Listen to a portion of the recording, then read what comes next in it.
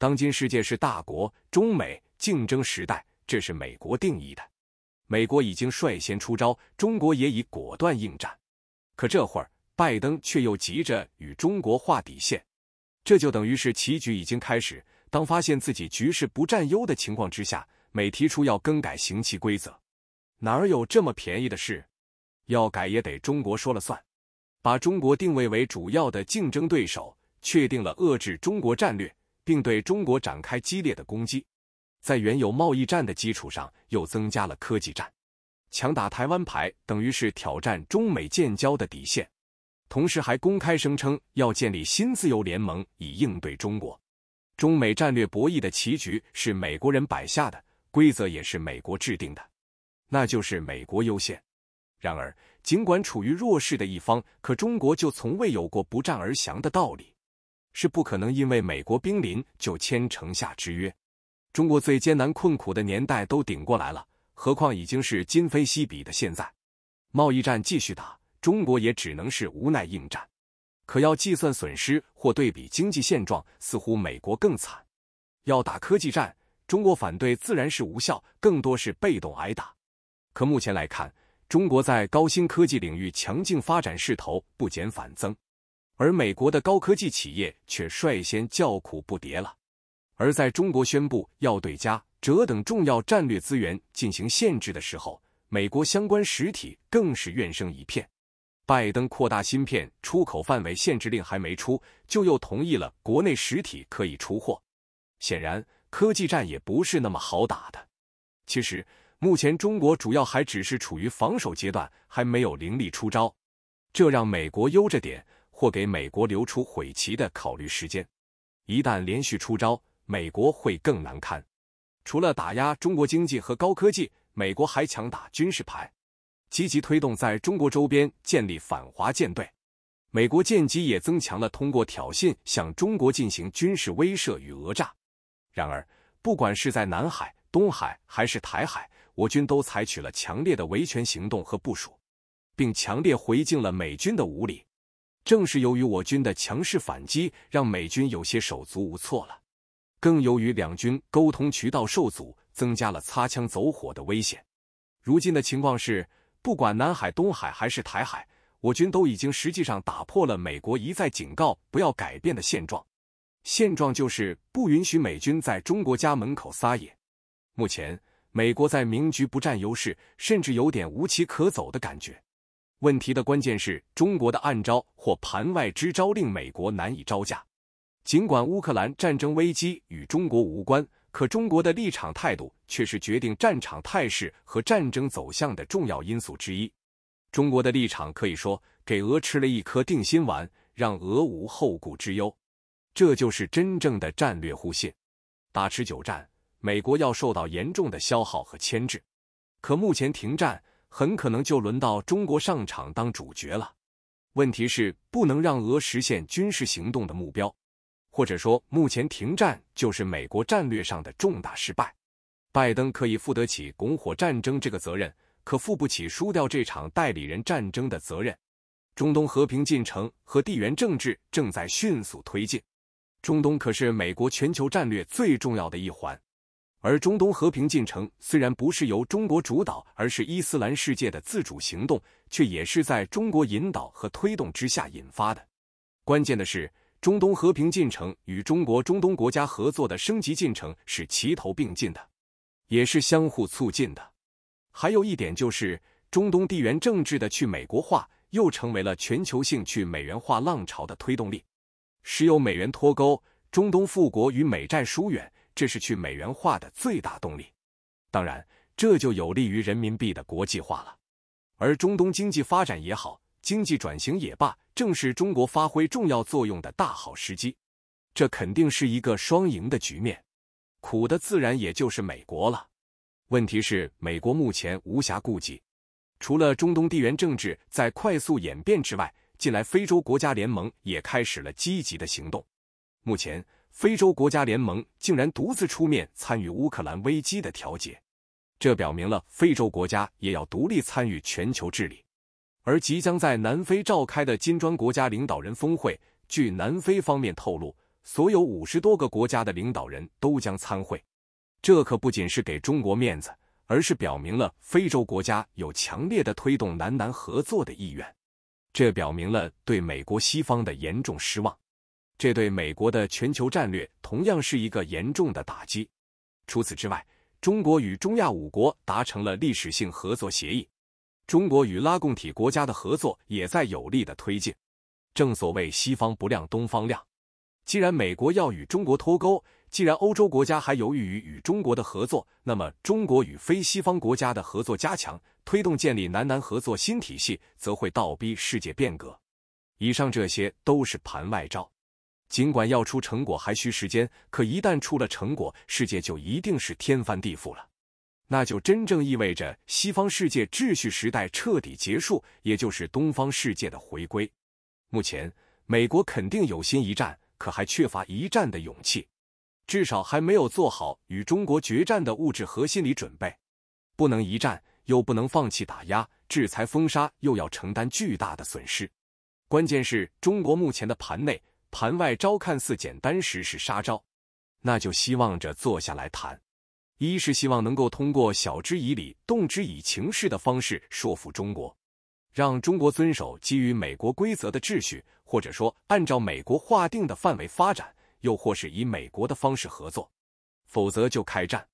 要么就是通过友好对话，也提出美国式合作共赢，那就是中国不使盘外招，美国不继续对华放大招，保持目前的压力不变。但前提是美军在中国家门口必须有所谓的无害通过权或自由航飞权。这些在近来白宫要员密集访华和各种场合的言论中就可以体会出来，特别是最新的一次互动。据美媒报道。外交部美大司司长杨涛在华盛顿同美国国务院亚太事务助理国务卿康达和白宫国安会中国事务高级主任贝沙兰举行工作磋商，双方围绕中美关系和共同关心的国际地区问题坦诚、深入、建设性交换了意见。这一次互动就很有意思，级别降低了，前面来的都是内阁要员，后面要来的也是，可中间突然插进了一个低级别的对话，很显然。这表明前面的和后面的高级官员对话可能都不算数了，也就是说，中美之间有可能要开启一种全新的对话形式。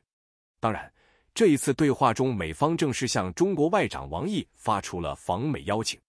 也就是说，此次对话一个重要的内容是谈王外长访美事宜。对于此次对话，据多位知情人士透露，两国将成立两个工作组，专注于亚太地区问题和海洋问题。此外，还有可能成立第三个工作组，专注于更广泛领域的问题，显然是意在弱化中美贸易战和科技战，并强调美国不会重现前几届政府的正式对话模式，也就是用新的对话形式取代旧的安全或战略对话。布鲁金斯学会中国问题专家哈斯表示，美国对为谈判而谈判不感兴趣，也没有重启过去存在的正式对话。他称。在与中国的沟通中，美国方面没做出任何让步。我预计这种态势将继续下去。如果真的是如此，那就意味着要开启一种新的对话形式。白宫这是何用意？是对过去的全面否定吗？不大可能。那么还能有什么新花样吗？成立工作组，似乎在巴厘岛会晤后就提到过，并没有细细说明。成立工作组。就意味着是从低级别开始了，也就是从基础和细节开始。这意味着中美关系有点新打鼓、另开张的意思。说到这里，就不由得想起了之前白宫官员提到的建立或实现中美关系的再平衡。中美关系的再平衡似乎只提到过一次，之后便没有下文。至少拜登和布林肯都没有提到过这个词。这可能是白宫内部人员自己的理解。之所以没有公开用这一词，或许是怕引发外界的误解。不管是平衡还是在平衡，都是建立一个稳定的关系，容易给人一种白宫怂了的误解。可是实际上，中美关系也确实需要建立一种新的平衡关系，否则就是在对抗的道路上越走越远。从奥巴马时期开始，中美关系的平衡实际上就已经被美国打破。中美关系再也回不到过去那种世界加工厂和世界超级市场的合作模式。如果美方不想现在就与中国全面对抗或冷热战，就必须寻求建立一种新型的平衡关系，至少要相对稳定。自奥巴马时期的亚太平衡战略开始，中美关系的平衡就已经实际上被打破。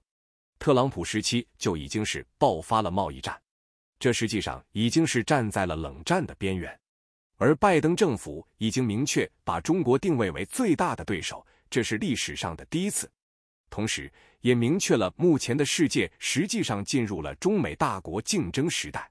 实际上，中美的冷战已经开始，只不过这是中美单打独斗，没有形成阵营对抗而已。即使是在美俄进行一场代理人战争的情况之下，还要对中国同时进行强力打压。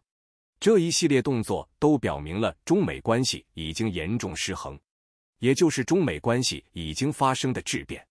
这就意味着要建立一种新的关系。从近来白宫高官一再表明不想与中国发生冲突或尽量避免发生冲突对抗来看，白宫也确实是在寻求建立新的平衡关系。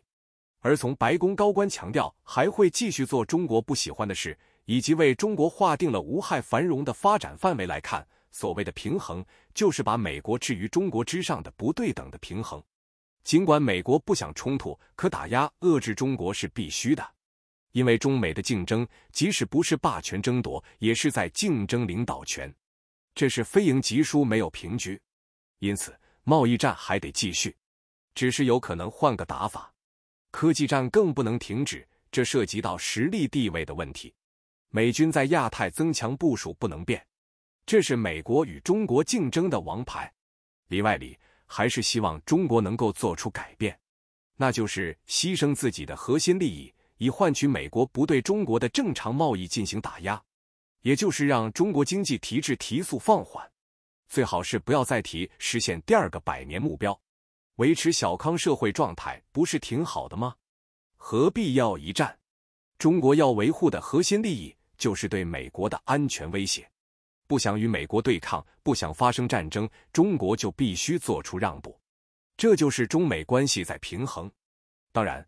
中国只是核心利益上让步还不行，还不能出盘外招，或者说不要在国际推动变革，不要推动去美国化和去美元化，甚至于不要推动“一带一路”建设等国际合作，换取中美之间相对的平衡平稳。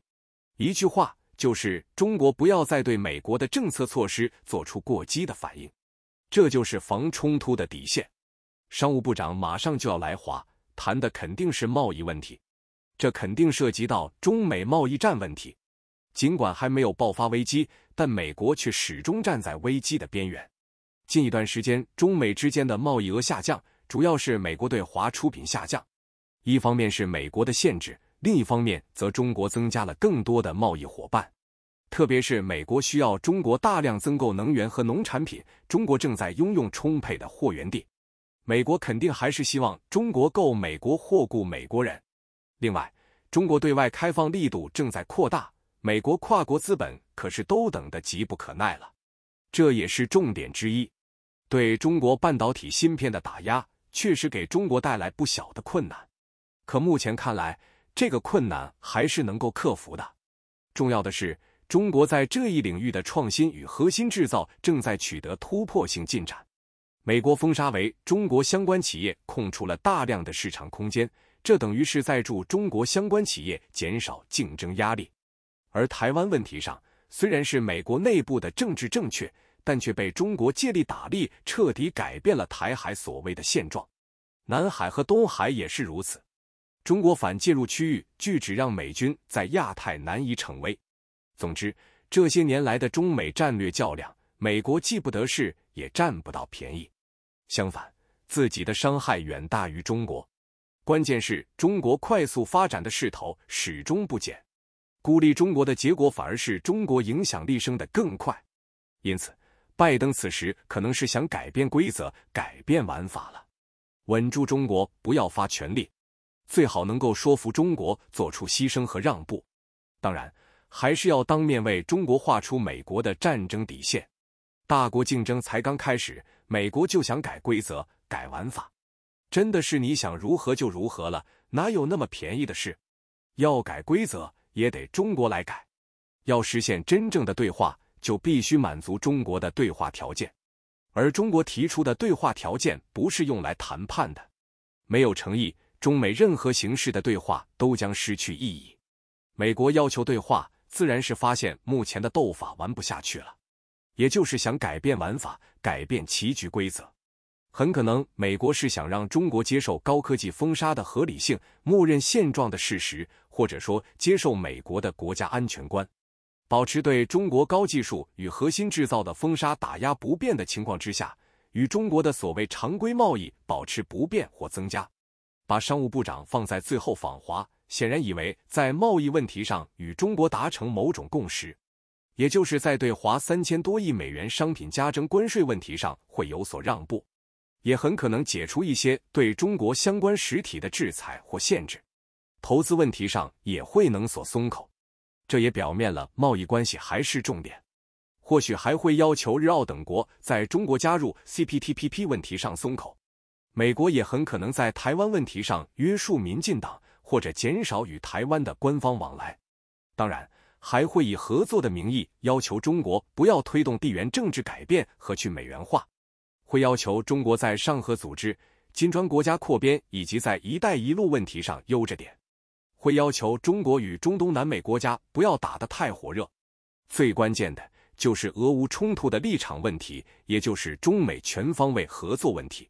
中国不一定非要对俄提供致命性支持，中俄正常贸易增加太猛，对俄帮助太大。总之，拜登很可能有心弱化对华战略打压攻势，以避免恶斗下去无法收场。但打压遏制中国高科技。推动建立与中国竞争的联盟，在中国周边强化军事部署，这些都不会改变。弱化中美常规贸易战，推动在所谓的符合共同利益的领域里的合作，借此以稳住中国，或者是不使中国在战略上强烈的反制，也就是建立中美关系的新的动态平衡。然而，既然世界已经进入了中美大国竞争时代，既然美国已经把中国视为敌手，既然美国已经出招，中国的反击就不能停止，因为从战略布局的角度来说看，可以说中国已经取得了优势。乌克兰战争的消耗与牵制，中东等地区地缘政治的加速演变，去美元化浪潮的兴起，中国主导或引导的独立于美国西方的国际合作体系的建立等等，这些都是对美国全球战略的重大打击。而中美两国的境遇相比，中国也明显要好。如果此时中国要收手或弱化，等于是前功尽弃。因此，要改变游戏规则，也不能由美国说了算。这场大国竞争棋局如何玩下去，绝不会以美国意志为转移。最后要说的是，如果接下来的对话达不成共识，美国很可能在军事上对华施压，通过制造台海、南海、东海以及朝鲜半岛危机，恶化中国周边安全环境。这也是美军急于与中国军方建立沟通渠道的重要原因之一，因为美军目前也不敢拖大。美军向来擅长玩战争边缘游戏，不战而屈人之兵。只是近来我军的反击太猛，让美军心中没底。如果只是一两艘战舰战机前来挑衅，一旦擦枪走火，美军是肯定吃亏。可也不能因此就事先大兵压境，走起火了，可就无法控制了。本期的东方时评就到这里了，欢迎在评论区留下您独特的见解，感谢您的观看，欢迎点赞、订阅和转发。